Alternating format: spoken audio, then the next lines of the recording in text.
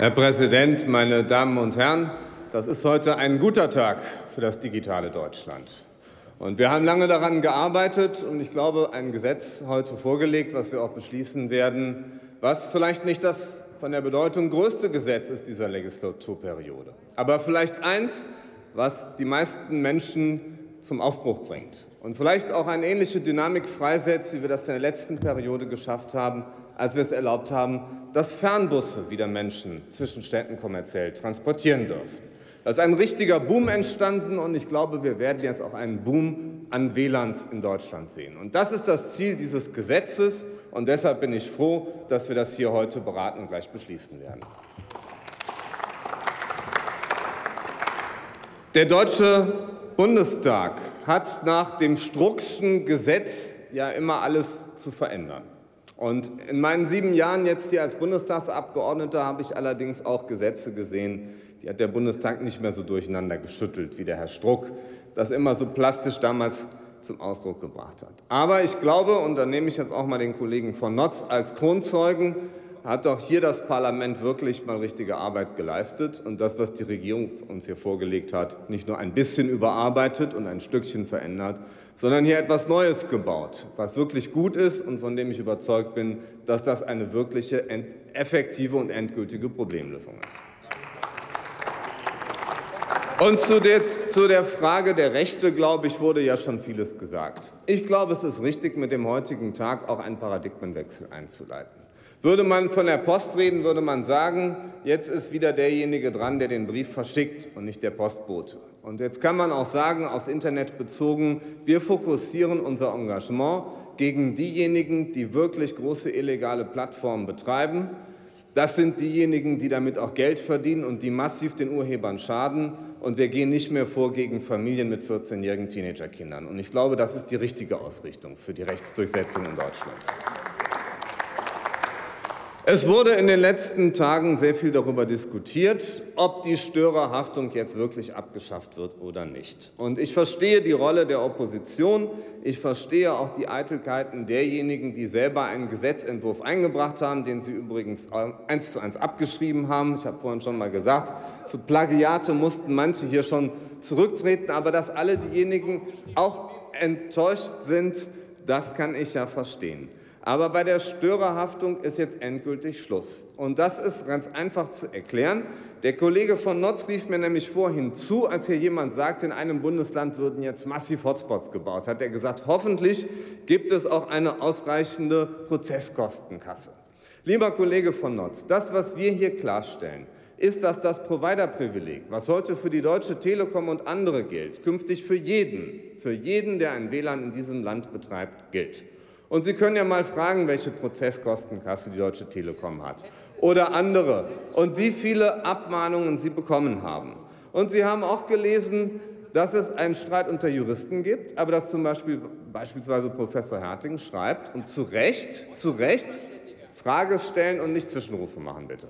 Dass der Kollege Herting gesagt hat, vor Abmahnungen, ja eben, eben, der,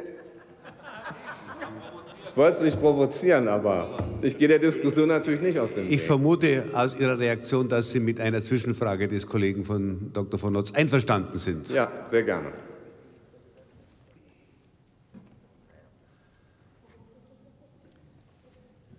Ja, lieber äh, Thomas Jazomek, erstmal vielen Dank für die Aufforderung und das Zulassen. Ähm, ich habe mir das nochmal angeguckt, weil ich die Stellungnahme jetzt sozusagen die eilige Stellungnahme nach der Diskussion von äh, eurem Sachverständigen Herrn Herting auch äh, ähm, äh, gelesen habe. Und er sagt ähm, in ähm, der Anhörung bei Punkt 8 auf Seite 2 seiner Stellungnahme, ich hoffe, du glaubst mir das jetzt einfach, äh, Bezug auf die Regelung des Regierungsentwurfs mit TMG 8 selbst und Änderung des Bundesrates. Ich zitiere. Im Ergebnis teile ich vollumfänglich die Kritik des Bundesrates an 8 Absatz 4 TMG.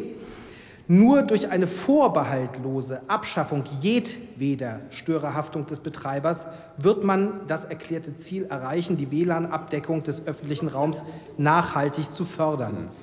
Jedwede Abschaffung. Und ihr habt eben diesen Unterlassungsanspruch, der auch heute noch beklagt werden kann.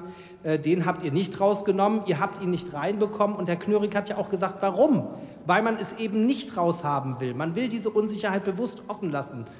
Du vielleicht nicht, aber das war ja euer Kompromiss und zu dem solltet ihr euch bekennen. Ja, lieber Kollege von Notz, ich kann mich an die Anhörung gut erinnern. Und ich habe interessanterweise auch gerade noch das nachgelesen, was Professor Herting geschrieben hat. Und die Kritik bezog sich ja auf den Regierungsentwurf, den wir ja vollständig gestrichen haben. Genau den Satz, den er kritisiert hat, haben wir gestrichen. Und seine Äußerungen bezogen sich darauf, dass im Regierungsentwurf zwei Konditionen nämlich für den Entfall der Störerhaftung gemacht wurden. Die erste Kondition war diese Verschlüsselung und die zweite Kondition war die Vorschaltseite. Und deshalb glaube ich, ist das ein Zeichen, dass wir auch gelernt haben aus dieser Anhörung, dass wir die Dinge rausgenommen haben, was richtig ist. Und insofern sehe ich hier überhaupt keinen Gegensatzpaar. Denn im Gegenteil ist es so, bei der Störerhaftung, ich lese vielleicht mal den Paragraphen 8 vor, den wir da halt eben jetzt haben. So, jetzt ist er aus meinem iPad verschwunden. Dann empfehle ich nicht, das ist nicht so schlimm. Ich habe auch eine mobile Datenverbindung. Ich empfehle, das mal nachzulesen. Paragraph 8 im Telemediengesetz, der jetzt für alle gilt, stellt den Betreiber ausdrücklich frei. Und das Einzige, was übrig bleibt, das ist der Unterlassungsanspruch. Und das ist auch richtig, weil wir sonst nicht mehr europarechtskonform wären und stünden wieder vor dem EuGH. Und der Unterlassungsanspruch, und das erklären wir auch noch mal in der Begründung, gilt dann, wenn es eine gerichtliche Anordnung gibt. Und Herting sagt in dem, was er heute oder gestern geschrieben hat, dass natürlich man keinen Schutz von einer Abmahnung bekommen kann, weil eine Abmahnung ja auch ungerechtfertigt sein kann. Wir können nur schützen vor Urteilen und damit gerechtfertigten Abmahnungen. Und das ist das, was wir hier genau tun. Und deshalb darf sich hier keiner mehr hinter die Fichte führen lassen. Es gibt keinen berechtigten Abmahnanspruch mehr. Punkt aus Ende.